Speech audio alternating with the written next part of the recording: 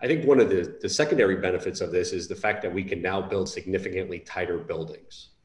Because, you know, I think again, back to when I started off as a designer in this business you know, 25 years ago, one of the things that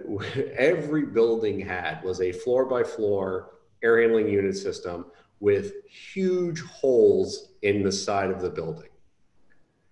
and and that was where we were bringing in air in and out of them and if you went into those buildings back in the day and stood at the top of an air shaft or an elevator shaft the amount of stack that we were getting through those buildings there's always going to be a mm-hmm. natural convection of air moving through a building. But because we had these holes and these buildings were not tight there was so much it was almost impossible for us to control the air going in and out.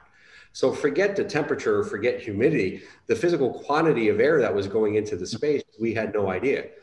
VAV systems made that even harder because now we were speeding fans up, slowing fans down.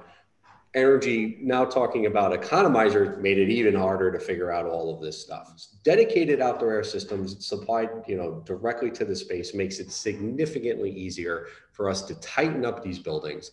and for us to ensure that we're getting the air in and out of them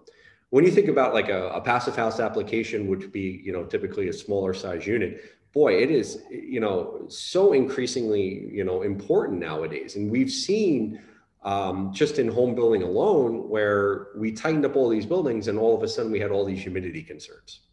and we were having all the mold growing in rafters and stuff like that because we weren't able to ventilate these buildings. Now we've got this great system of, well, yeah, we want to keep these buildings tight because we don't want infiltration because that's a cost to energy.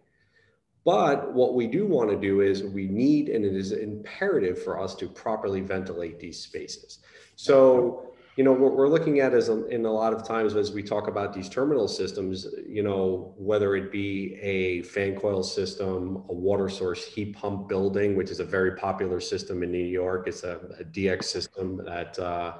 typically are you know you're putting one of these in a room by room type of basis um, it's kind of the same logic as almost a larger package rooftop unit in terms of the humidity issues um,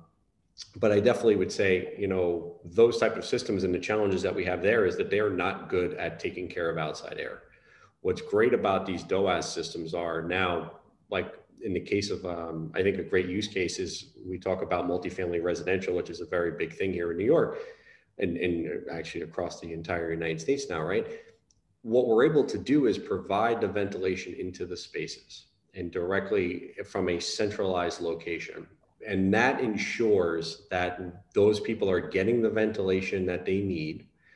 as well as that again it is at is as a precise humidity and temperature as possible. And there's just so much benefit there